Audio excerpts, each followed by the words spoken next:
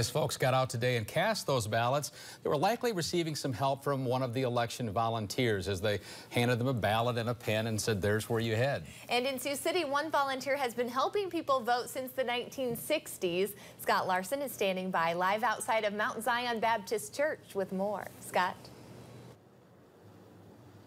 Good evening, Jenna and Tim. On this election night, I'm standing live outside of the Mount Zion Baptist Church here in Sioux City, where you can literally see the democratic process in progress here behind me through the windows of the church. And helping some of those voters check in today was Mildred Davis, just as she did back when Richard Nixon and Hubert Humphrey went toe to toe in 1968 and every election since then.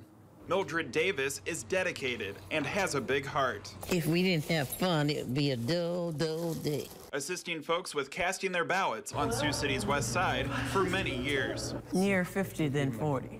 The issues have changed some as time has gone on. Healthcare costs and, um, you know, lower taxes for um, middle Americans like we are. Economic issues, minimum wage, um, and the Supreme Court.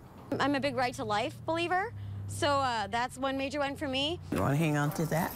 But Mildred has been a constant for those looking to exercise their most fundamental American rights in Siouxland. There we go. The right to vote. My motto in volunteer is that you reach out and touch somebody every day.